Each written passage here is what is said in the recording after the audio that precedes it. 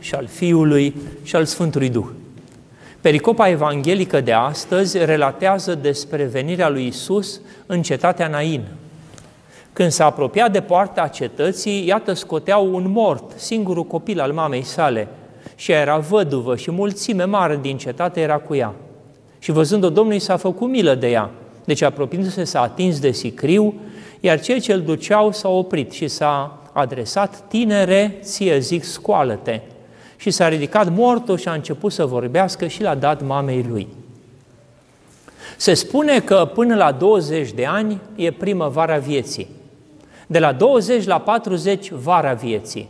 De la 40 la 60, toamna vieții, iar de la 60 la 80, iarna vieții. Deoarece viața se compune din cicluri de șapte ani, aș corecta intervalele de mai sus, anume 1-21, 21-42, 42-63, 63-84. Fiecare anotimp fiind astfel compus din trei etape de șapte ani. Se pare că tânărul din pericopa de astăzi se afla în prima sau a doua etapă a primăverii vieții sale – cel mai probabil în prima, de vreme ce Evanghelia precizează că după ce l-a înviat Iisus, l-a dat mamei lui. Grecii și romanii considerau primăvara începutul anului, ceea ce e și corect din punct de vedere simbolic. Uh, de aceea luna martie era prima lună anului.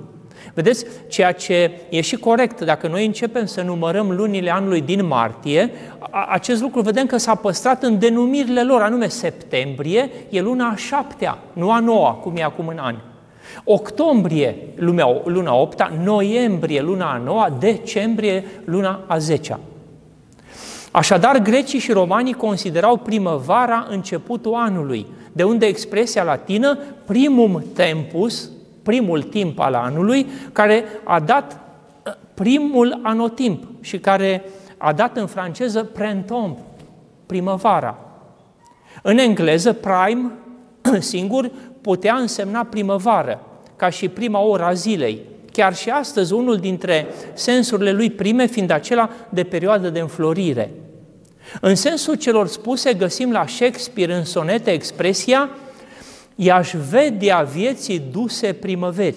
Și tot acolo o altă expresie remarcabilă, toamna doldora de rod, ce, ce așa își plătea al toiul primăverii.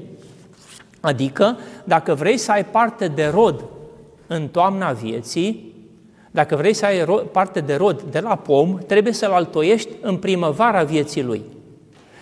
Deci, similar, dacă vrei să ai roade duhovnicești, din tinerețile tale trebuie să te altoiești duhovnicește, să-ți dedici viața Domnului.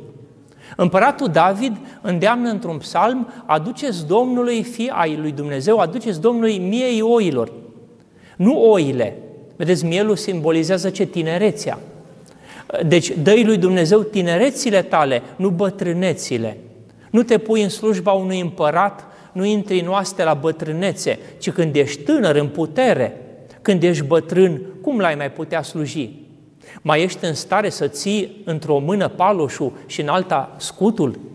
Vedeți, o meserie se învață de tânăr. Cum mai poți uh, învăța pianul la bătrânețe când îți tremură mâinile și nu mai deslușești notele de pe portativ? Cum mai poți să faci mătănii și închinăciuni când îți tremură picioarele? Cum mai poți posti când o grămadă de boli te-au făcut neputincios? Te amăgești singur când îți spui că ai vreme, că mai târziu vei deveni un creștin model. Oricărui meșteșug e bine să-i pui bazele cât mai repede. Dacă e de dorit să înveți cântatul la un instrument sau o limbă străină din fragedă de tinerețe, cu atât mai mult limba îngerilor care este rugăciunea. Un proverb persan vine în sprijinul celor afirmate mai sus. Învățătura din tinerețe este ca o dantelă săpată în piatră, adică e ceva care nu se va șterge, e o temelie de piatră pentru viața ce va urma. De aceea, primii șapte ani din viață sunt hotărători, pentru că atunci părinții, iată, să desc în sufletul copilului principiile după care să se călăuzească mai departe. Uh, deci, deci această temelie din tinerețe e una care nu va putea fi dărâmată. E o temelie de piatră. Pe ea vei putea clădi mai departe. Exista o emisiune radiofonică pe vremea comuniștilor intitulată O viață pentru o idee. Într-adevăr, un vis al tinereții poate consuma și îndruma întreaga viață. Vedeți, de exemplu, ne gândim la Aurel Vlaicu. El din, de copil urmărea zborul păsărilor și visa și el să zboare. Și iată, acest vis al lui din tinerețe, până la urmă, s-a împlinit. Corneliu Codreanu visa la o sfântă tinerețe legionară, iar părintele Arsenie Papacioc credea că așa trebuie să fie un tânăr, un mare erou pentru Hristos. Noi ne-am mulțumit și cu mai puțin pentru copiii noștri, dacă nu o sfântă tinerețe, măcar una cu adevărat creștinească. Când a fost la locurile sfinte, cu viosul Paisia Ghioritu, a vizitat și școala patriarhală a Sfântului Sion, unde pe atunci învățau în jur de 20 de elevi, un fel de seminar. Din aceștia urmând să se aleagă clericii din viitor ai Patriarhiei Ortodoxe a Ierusalimului. Profesorii l-au rugat pe marele bătrân să le spună copiilor un cuvânt de folos, iar acesta i-a sfătuit. Să vă nevoiți acum, când sunteți tineri și aveți putere, pentru că atunci când veți îmbătrâni, chiar să vreți, nu veți mai putea. În acest sens, Sfântul Ioan Scăraru îndemna, dă lui Hristos cu râvnă ostenelele tinereților tale și te vei bucura la bătrânețe de bogăția nepătimirii, adică a vieții despătimite, nepătimașe. Cele adunate în tinerețe hrănesc și mântuie la bătrânețe pe cei obosiți de vreme. Deci, în, deci îndeamnă mai departe Marele Stareț din Muntele Sinai să ne ostenim tinerilor cu înfocare, să alergăm cu trezvie, căci nu știm când vine moartea. Am încheiat citatul. Similar, părintele Constantin Sârbu își impulsiona enoriașii. Alergați după mântuire cât sunteți tineri. Oamenii, în general, la tinerețe, fiind în putere, se gândesc la ceea ce este plăcut trupului, la o casă frumoasă, la o mobilă luxoasă. Prin toate acestea, ei, pentru a le dobândi pe acestea, ei cheltuiesc toată energia, se muncesc din greu, dar iată ce spune el șocant, să intre în iad. Adică la locuința de dincolo de mormânt nu se gândesc. Ei vor să înfrumusețeze această locuință trecătoare. Vedeți când te afli într-o stație de autobuz. Oare cauți să, îmbună, să înfrumusețezi stația de autobuz? Deloc. Te gândești că vei pleca de acolo. Cumva și noi, în perspectiva veșniciei, aici pe pământ, suntem într-un fel de stație de autobuz, așteptăm autobuzul să ne ducă în lumea de dincolo. Ne spune el, ă, la locuința de dincolo de mormânt nu se gândesc, deși numai aceea este veșnică. Și vine bătrânețea, când nu mai au puterea nici pentru rugăciune, nici pentru fapte bune, nici pentru metanii. De aceea luptați pentru mântuire de acum, din tinerețile voastre. Într-un super haiku, poetul japonez Yotsuya Ryu scria Inima mea bate ca un val de rândunele. Tânărul trăiește viața cu intensitatea artistului, însă precum năvalnica primăvară, tinerețea e un cal nărăvaș, greu de strunit, care te poate arunca oricând din șa. Tinerețea înseamnă ardere, vibrație, dinamism, scria Gheorghe Tomozei. Tinerețea are o energie debordantă pe care e extrem de important să știi să o direcționezi. În Filocalia 12, tinerețea e comparată cu vinul care spumegă la început, cu tulburelul. Dar așa cum dacă de vin nu ne îngrijim, dacă nu îl punem în vase și locuri potrivite devine oțet, tot așa se va întâmpla și cu tinerețea noastră. Fără, busolic, fără busola evanghelică, pașii tinereții nu se vor îndrepta spre limanuri bune. Cel conștient va fi de acord cu Nicolae Iorga că a fi tânăr cuprinde o datorie și nu o scuză. Dar tocmai această conștiință lipsește. Odată doi tineri căsătoriți au mers cu un pomelnic la părintele Teofil Părăian, la mănăstirea Sâmbăta. Acesta i-a întrebat, așa cum făcea cu mulți, dacă duminica merg la biserică. Cei doi, oarecum nedumeriți, au replicat, nu suntem noi așa bătrâni, părinte, să mergem duminica la biserică. Vedeți mentalitatea. Această mentalitate le-a fost implementată de mediul în care au trăit. Atunci părintele a exclamat, Doamne, înmulțește bătrânii. Adică înmulțește pe oamenii care să vină la biserică mai des, înmulțește pe, oam- pe acești tineri ca să aibă minte de bătrân. Uneori realizezi prea târziu cât de greșite îți erau concepțiile, atitudinile și faptele din tinerețe și atunci fie cer iertare, precum psalmistul, păcatele tinereților și ale neștiinței mele nu le pomeni, Doamne, fie te năpădesc regretele, așa cum mărturisește Tolstoi în amintirile sale. Nu mă gândesc la desfătările din care n-am gustat în tinerețe, ci mă gândesc la acel bine pe care nu l-am dăruit și la cel rău pe care l-am făcut celor care azi nu mai sunt. Pe lângă regrete vei avea de suportat și consecințele modului în care ai trăit. Dacă în tinerețe cumperi ce nu-ți trebuie, când vei fi bătrân, este posibil să fii nevoit să vinzi lucrurile de care cu greu te vei putea lipsi, avertizează Luboc. De aceea un proverb cere, Doamne, dă omului mintea de pe urmă. Aceasta a, spus, a vrut să spună de fapt Părinte Teofil, mulțește bătrânii. Pe aceeași linie de gândire și exprimă regretul Andrei Jid în paginile de jurnal. O, ce grozav mentor aș fi astăzi pentru cel care am fost în tinerețe căci fără principii sănătoase, de neînțeles și imprevizibile sunt căile omului în tinerețile lui, așa cum constată Cartea Proverbelor. Părintele Arsenie Papacioc avea o vorbă, tinerețea poate, dar nu știe, bătrânețea știe, dar nu mai poate. Tinerii au o energie imensă, dar o cheltuie nesăbuit, necugetat. Bătrânii, unii, știu cum ar trebui consumată energia, dar nu mai au. Totuși există cazuri fericite de tineri cu minte de bătrân, așa cum era caracterizat Sfântul Sava cel sfințit de contemporanii lui, de tineri de care, asemenea Domnului Iisus copil, toți care le auzeau se minunau de priceperea și de răspunsurile lui, de tineri care tresaltă din pântecele maicilor, din tinerețile lor în apropierea celor duhovnicești. Ei sunt însetați de Dumnezeu precum cerbul de izvoarele apelor. Părintele Porfirie din Capso Calivia își amintește din anii, din anii când era începător la Sfântul Munte. Eram cu adevărat, în mod natural, un om sălbatic. Am fost o capră sălbatică a pădurii. Alergam prin zăpadă și peste stânci desculți. El, el s-a dus la mănăstire la 12 ani. Ar fi trebuit să vedeți cât de roșii mi erau călcâile și picioarele. Îmi amintesc ceva foarte frumos. Era primăvară și bătrânii mei m-au trimis cu ascultare la Cherasia. În timp ce alergam, mi-am dat jos mocasinii, pentru că voiam ca tălpile picioarelor mele să devină la fel de rezistente și elastice ca tălpile mocasinilor în zăpadă și ger. Mă simțeam plin de energie și de bordan și alergam. Am alergat, nu am mers pe jos, deci nu am mers să fac ascultare, ci a alergat la ascultare.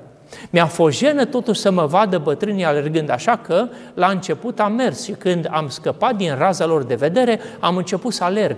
Prindeam aripi ca să merg repede și să mă întorc repede la bătrânii mei. Părinții patericului erau mânați de aceeași energie debordantă. Ava Isidor de la Schetis se destăjnuiește intimilor săi. Când eram tânăr și stăteam în chilia mea, nu aveam măsură la pravilă, adică un anumit număr de ore, să spunem, sau de rugăciuni. Noaptea și ziua erau pentru mine pravilă. Cu astfel de mentalitate nu te temi de nicio nevoință. Din contră, ea reprezintă pentru tine un test, o probă, o încercare.